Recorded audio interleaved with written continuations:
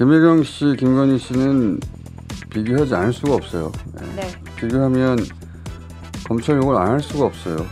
세. 번째 거짓말을 한 거예요. 이렇게 이렇게 검찰이 나서서 김건희 씨를 빼주는 겁니다. 이 손정미 씨가 코이카의 이사로 선임되는 과정에 최은순 씨가 좀 영향력을 행사했다라는 의혹이 제기됐습니다. 김건희 여사에 대해서 살이 많이 빠지고 관저에서 거의 누워만 있는 어. 보도가 나왔는데 네. 김건희 여사가 어제 오후 안제이 두타 폴란드 대통령의 국빈 방한 공식 아. 환영식에 참석했습니다. G20 정상회의 관련 해외 네. 아, 또 순방에도 순방도 네. 또 동행할 아. 것으로 보입니다. 예. 건강하시다고 하니까 마음도 든든하고 김혜경 씨, 김건희 씨는 비교하지 않을 수가 없어요. 예. 네. 비교하면 검찰 욕을 안 할 수가 없어요.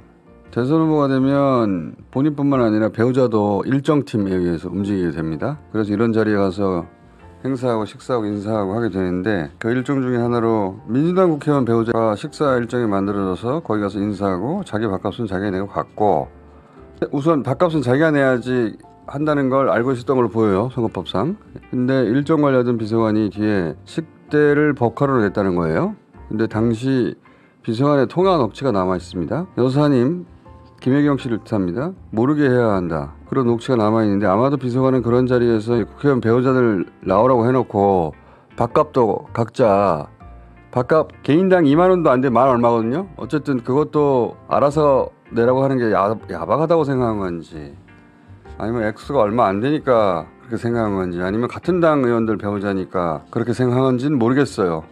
저는 큰 문제가 안 될 거라고 생각한 건지 그걸로 버카를 낸 겁니다. 10만 4천 원. 그리고 총 6명 10만 4천 원이고 한 사람당 만 얼마예요? 배우자는 3명이고 그리고 운전기사와 수행원 등 3명이 아, 그렇군요. 합쳐서 10만 4천 원이라는 거죠? 여섯 네. 명에.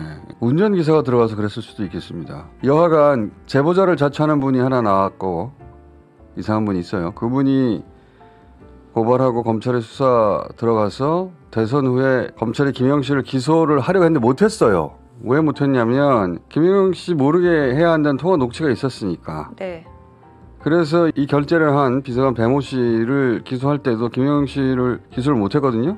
왜냐면 공모에 대한 증거가 없었으니까 지시했다거나.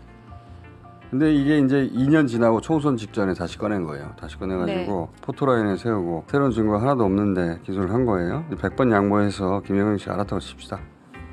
같은 당 국회의원 배우자 3명하고 운전기사하고 17,000원, 8,000원 밥을 사줬다고 쳐- 쳐요. 그걸로 압수수색을 130번을 합니까? 그리고 2년 있다가 총선 직전에 포토라인에 세우고 김건희 씨하고 비교하면 비교가 안 되잖아요. 디올백 300만 원은 선물이라며 17,000원 선물인가 보지 밥값 23억을 벌었어도 주가 조작은 모르셨습니다. 김건희 씨 계좌로 이용됐는데 예? 모든 통정매매의 절반이 주가 조작 일어난 모든 통정매매의 절반이 김건희 씨 계좌로 일어났는데 김건희 씨는 몰랐어요. 그리고 자기도 모른 채 23억을 벌은 거예요. 그리고 몰랐다고 했는데 검찰은 이해를 해줬습니다. 이해를 해줬죠. 네. 이거는 이해를 안 해주는 거예요. 그래서 130번 압수수색을 하는 겁니다. 그러니까 요걸 검찰이 하는 거예요. 비슷하게라도 맞추던가 최소한 흉내라도 내던가 그런데 압수수색 했다는 거짓말 했다가 들켰잖아요. 네, 김건희 여사의 도이치모터스 주가 조작 연루 의혹과 관련해서 압수수색 뭐 영장 청구했는데 법원이 기각했다라는 브리핑을 했다가 거짓 논란에 휩싸였었는데 거짓 논란이에요. 거짓말이에요. 저는 거짓말이라고 단정적으로 말하겠습니다. 예. 이때 뭐라고 해명을 했냐면 어, 김건희 여사처럼 주가 조작에 동원된 계좌를 보유한 그냥 계좌주 가운데는 네, 압수수색 영장 어, 네. 물주는 영장 청구 안 했다. 네. 그러니까 변명이었죠. 마련해 둔. 그러니까 네. 처음에는 도이치하고 코바나 둘 다 섞어가지고 영장 청구했다고 했는데 알고 봤더니 코바나만 하고 도이치는 안 했는데 마치 네. 둘다 한 것처럼 섞어서 얘기했고 그리고, 그리고 나서 주거지 를 처음에는 브리핑 때 포함시켰다가 나중에는 주거지도 안 했으면서 슬그머니 뺐죠. 뺐고 그리고 그 변명으로 네, 계좌주 물주는 안 했다라고 네. 말을 해뒀는데 그때 그 계좌주에 김건희가 들어가느냐고 안 물어봤지 않냐 기자들이 이런 식의 변명을 마련해뒀는데 알고 보니까 그 물주도 압수수색했어 네. 검찰이 압수수색하는 계좌주가 있는 것으로 드러났습니다. 세 번째 거짓말을 한 거예요 거짓말을 이렇게 이렇게 검찰이 나서서 거짓말을 해서 김건희 씨를 빼주는 겁니다. 예, 김건희 씨가 나와가지고 거짓말을 해서 자기가 빠져나가는 게 아니고 검찰이 거짓말을 대신해주고 있어요. 어제는 국감에서 네. 어머님 23억을 같이 벌었거든요. 예, 어머님도 압수수색 한 번도 안 당했어요. 어머니도 무혐의 처분 당했습니다.